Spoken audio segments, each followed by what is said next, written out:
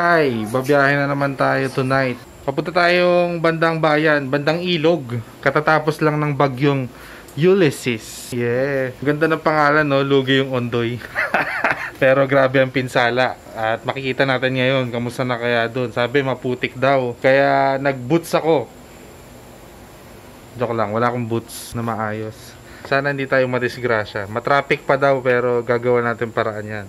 Kasi pupunta ko yung tropa ko si Kuya Ilib, Kuya Billy. Shout out Team Lutuni. Maliit na tulong lang, may pinabenta siyang gitara at mabebenta ko bukas. Kailangan kong daanan doon. Apektado sila nung bagyo at ito na ang pinakatulong ko sa kanya. Sana ma-appreciate mo Kuya Ilib. Kasi totoo lang tinatago ko ano talaga eh. Crush talaga kita eh.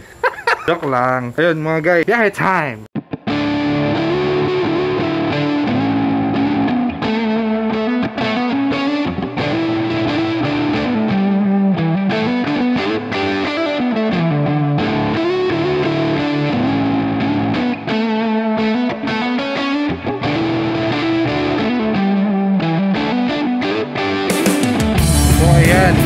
Tayo ngayon sa may sports center. Grabe, ang daming basura. May mga nadaanan pa akong ah, mga nabumagsak na puno. Ang hirap, hindi ko ma-videoan na umaandar eh. Ayaw, ano eh, hindi ko pa naayos yung ano ko eh. Oh. Yung phone holder ko eh. Pero ayan. Pero mabilis naman kumilos sa Marikina. Ayun, may bomberong naglilinis doon. Sigurado ako malilinis to in a few days. Ayan. Isa to sa maraming punong bumagsak. Matindi. Oh, dito na tayo. Daming basura. Malikabok pala. Wala pa naman ako salamin sa helmet. Dito ka muna, tambit. Ayan yung mga basura ng mga ewan ko. Ilog kasi tong part na to. Kawawa yung mga bahay dito. Putik-putik pa oh. Madilim eh, hindi kita. Kuya Ilib. Sasakyan niya hindi gumag- gumagana. Dalawa. Isang motor. Ayop. Pauwi na ako. Ayan, medyo kita dito maliwanag pag front cam oh.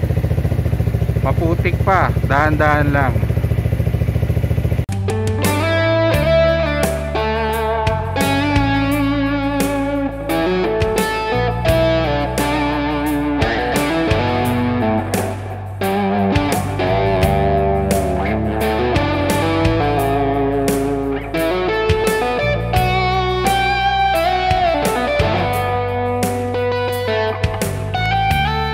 Nakauwi na tayo. Pakita ko sa inyo yung gitara nga pala. Nakalimutan ko ipakita.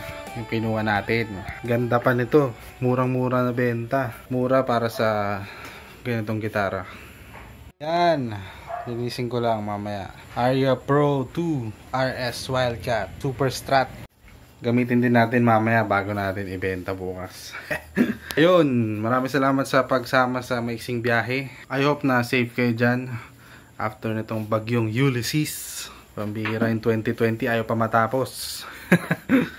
Ang dami ko ano-ano nangyari. Ah, pero lagi lang nating tatandaan. Kahit ano man yung mangyari, basta nasa side natin si Lord. Siyempre, nasa, nasa side din tayo dapat ni Lord.